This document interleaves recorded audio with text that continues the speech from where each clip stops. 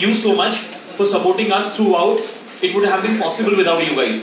So I open the floor for questions. So, can we have the mic over there, please?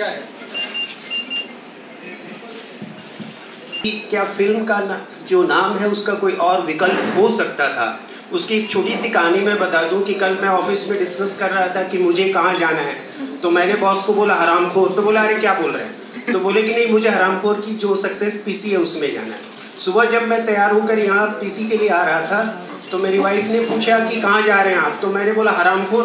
फिर बोले कि वो PC में मैं जा रहा हूँ। तो ये शब्द जो है थोड़े हमारे हिंदू जो सोसाइटी मतलब हमारी जो हमारा जो समाज है उसमें एक्सेप्ट तो क्या यही एक टाइटल था? इसका कोई और विकल्प हो सकता था? हालाँकि फ़िल्म सक्सेसफुल है।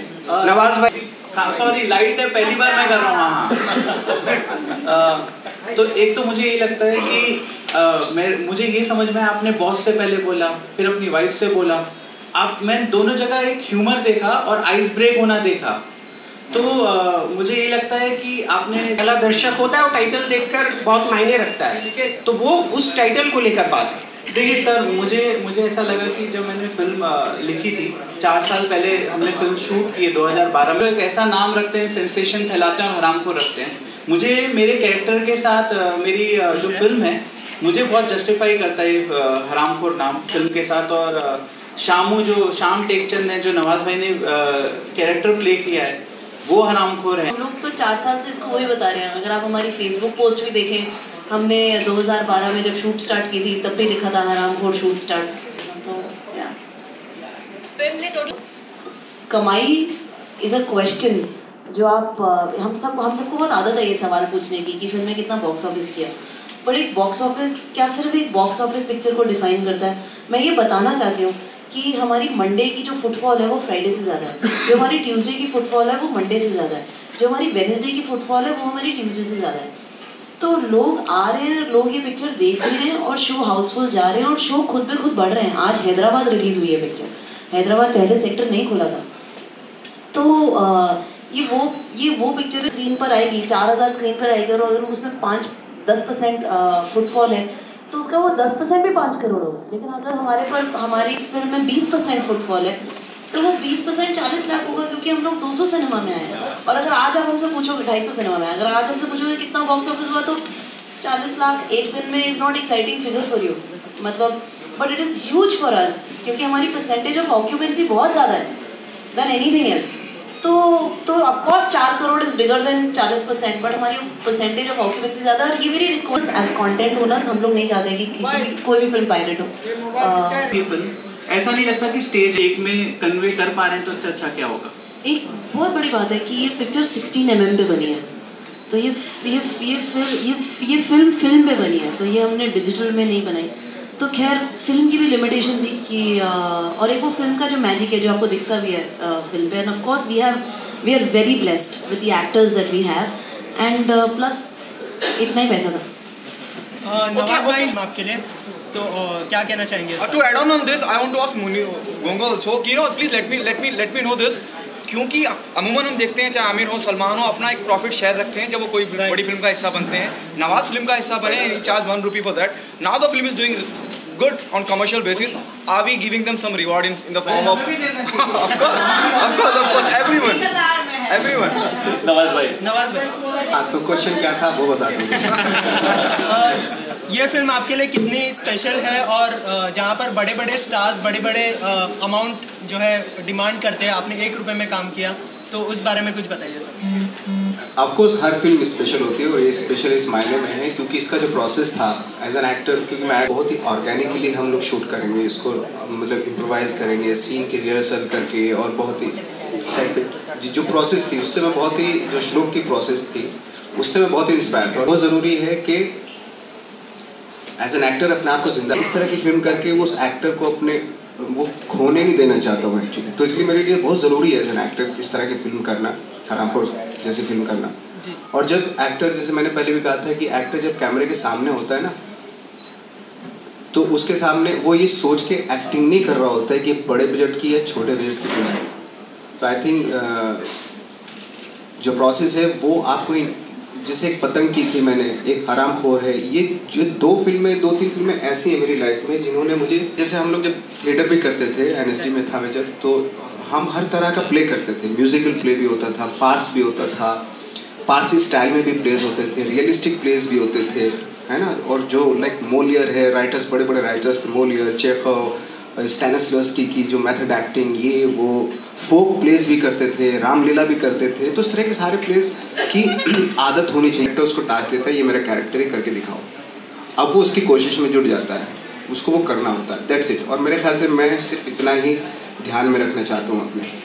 ये कितनी बाइबल है, कितना चलेगी ये फ़िल्म कितनी बड़ी हिट हो गई, और ये 300 करोड़ के ऊपर चली गई, ये मेरे लिए बिल्कुल भी मुझे एक्साइटमेंट इसमें है नहीं, क्योंकि मैं एक्टिव हूँ और मुझे वहीं तक रहना चाहिए पैसे कमाएँगे तो everybody is a profit share holder including our DOP including our editors including music everybody has a small part in this and of course above and beyond Nawaz भाई एंड एंड एंड एंड मुझे लगता है कि मतलब हम लोग सब कहीं ना कहीं अपनी जर्नी स्टार्ट करते हैं राइट श्लोक और मैं मैंने हम दोनों ने बहुत साल अनुराग के साथ काम किया। हम वहाँ काम करते करते नवाज़ भाई से मिले।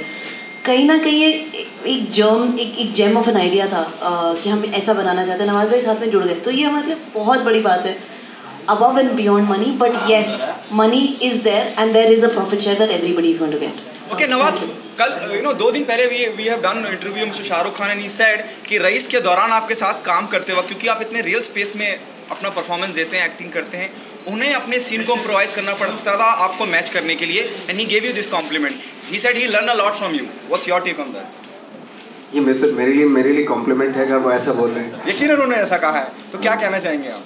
मैं शाहरुख जैसे दिग्गज कहते हैं कि मैं अपना मैं मैं अपना किरदार को अलग तरीके से सोचता हूँ और अलग तरीके से कन्वे करने की कोशिश करता था लेकिन जब नवाज़ परफॉर्म करते थे मेरे साथ किसी भी सीन में क्योंकि बहुत सारे सीन उनके साथ हैं तो मुझे अपना तरीका बदलना पड़ता था उनको मैच करने में। मुझे भी अपने तरीका बदलना पड़ता था उनको मैच तो वो दिखेगा वो केमिस्ट्री दिखेगी। एक्चुअली हमने हम हम लोगों की प्रोसेस थी जो टेक्स्ट था उसको उसके उसके बिहाइंड जाने की जो सब टेक्स्ट है उसको बोलने की। बिटवीन द लाइन तो वो केमिस्ट्री दिखेगी वो।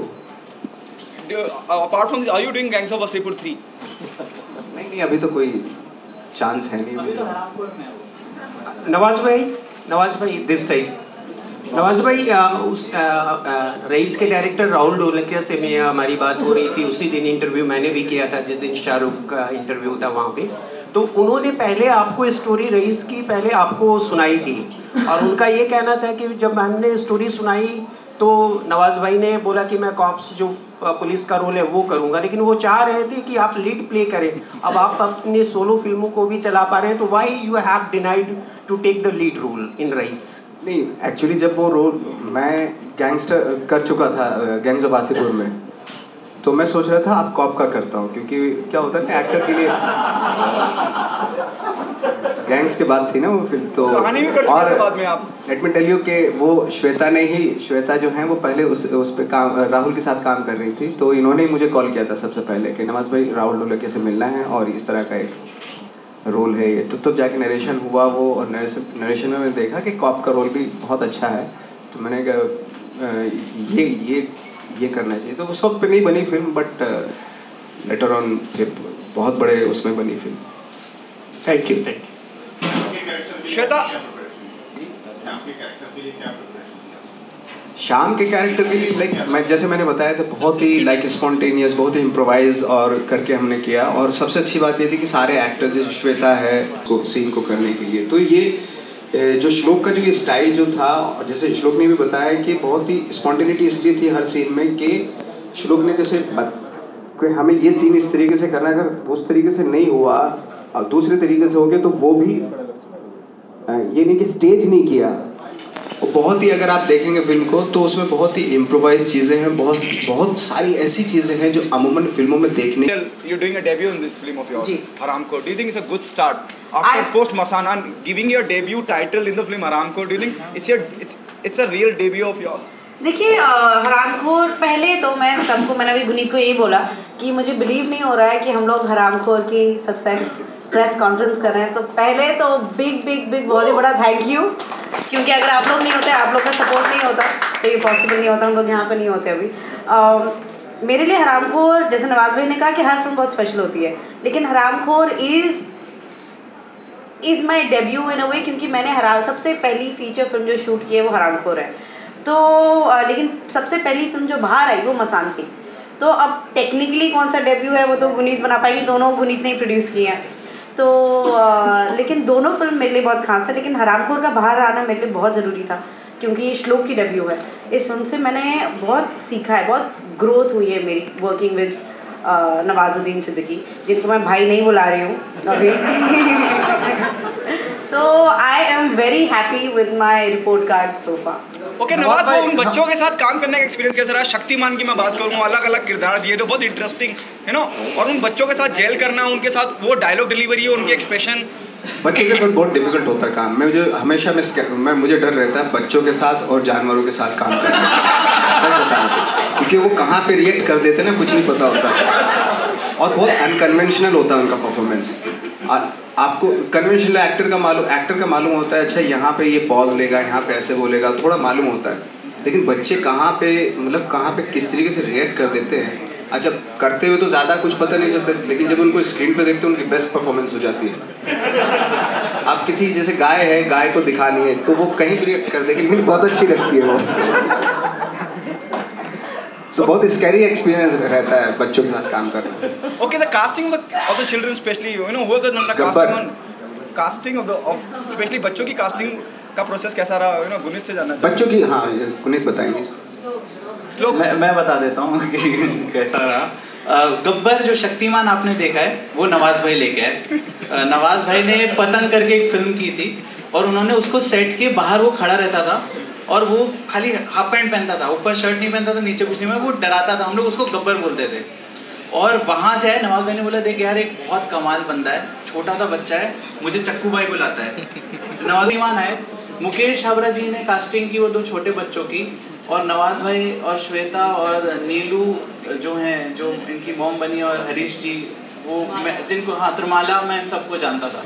तो फ़ोन करना पड़ा और स्क्रिप्ट बतानी पड़ेगी सर, करोगे please Before we move on to the next question, I'd also like to invite uh, चक्कू भाई शामू एक्चुअली वो जिस जगह से आए वहाँ पे इतना ज़्यादा कोई भाई चाचा ये सब बोलने की मतलब वो नहीं है। मतलब खुले खुले टाइप का बंदा है वो। वो मैंने नवाज़ भाई के साथ काफ़ी काम किया है and I have to say this and मैंने कभी उनको ये बोला नहीं बट जब कैमरा ऑन होता है ना तो नवाज़ भाई is that character and it is magic to see him do that और जैसे कैमरा ऑफ़ होता है ना ऑफ़ टेक आपको ढूंढना पड़ता है कि कहाँ गए। कहाँ कहाँ गए। वो कहीं मतलब क्राउड मतलब क्राउड में मतलब हम और जैसे ही कैमरा ऑन होता है बिकम्स दैट चाहे वो हराम खोर चाहे वो मानसून शूटर चाहे वो गैंग्स ऑफ़ वासेपुर चाहे हमने जितना भी काम किया ना। आते हैं तो इस फ़िल्म में आपको मिली थी जब आप शॉर्ट करके निकलते थे या क्या था? मतलब कहाँ पे ये फ़िल्म ये हराम खोर? कहाँ पे लिया? He's talking about on set. He's talking about on set. Short के वक्त शॉर्ट के वक्त जो नहीं नहीं शॉर्ट के वक्त तो ज़्यादा पता नहीं चलता कि भाई काम अच्छा किया या बुरा किया है। और क्यों आपने एआईबी में ये बात बोली थी? क्या ऑब्जर्वेशन था आपका? नहीं क्या होता है कि छोटी फ़िल्म क्या छोटे प्लेटफॉर्म पे रिलीज़ होती है है ना? अभी क्या होता है कि अगर कोई फ़िल्म 200 करोड़ कमा ले और उसमें जो सीन कर रहा हूँ मैं तो चाहे इतना कोई खास सीन नहीं लेकिन यार क्या सीन करता है बंदा? माय गॉड और वही उससे भी बड़ा वो ऐसा होता है कि कभी कभी मन करता है एक टेक ओके हो गया अब दोबारा फिर से कुछ कुछ और निकालते हैं चीज़ इस टेक में वेरिए हाँ वेरिएशन में। यू नो वैसा होता है। और भाई ये आपने बोला भाई जो है तो एक टेक ही देते हैं उसके बाद मना मतलब मना हाँ भाई कहिए कि एक टेक हो गया ओके अब दोबारा नहीं मांगने का है। Celebrity as individual real life में ऑफकोर्स दुख होता है कोई अगर नेगेटिव खबर आती है है ना? दुख होता है। हालाँकि मैं उसमें भी रियल लाइफ में ज़्यादा एक्टिंग करता हूँ मैं। ऐसा दिखाता हूँ मैं बहुत आराम से हूँ लेकिन अंदर बहुत कुछ चल रहा होता है you know but I think मुझे कभी कभी ऐसा लगता है कि मैं रियल लाइफ में ज़्यादा एक्टिंग करता हूँ।